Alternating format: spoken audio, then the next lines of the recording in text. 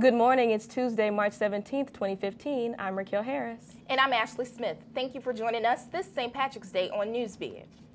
An elderly man is dead after a deadly blaze in a high rise located in the 300 block of South Damen. Fire crews rushed to West Point Plaza after getting a 911 call for help.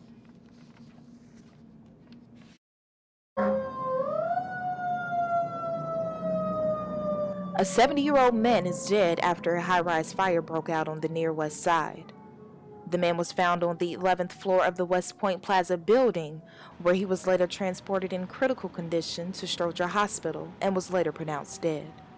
The fire was contained to his one unit, and no one else was injured. Uh, we continued with a systematic search of the 11th floor and all the associated floors up above.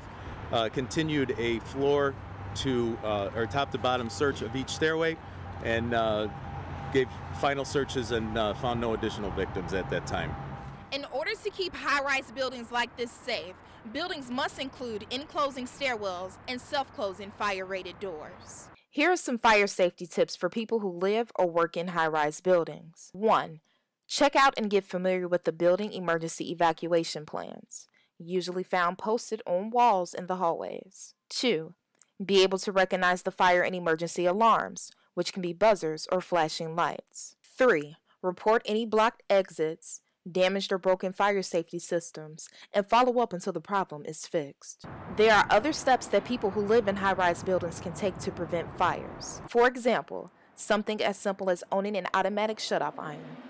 I can't tell you how many times I've forgotten to turn off the iron or unplug it, and so I really depend on that feature. The cause of the fire is still unknown. However, fire crews have returned to the high rise building located on the city's west side to reassure the residents are now safe. Fire officials say the man used an oxygen tank, which may have been the cause of the fire, but the, investi the investigation still continues.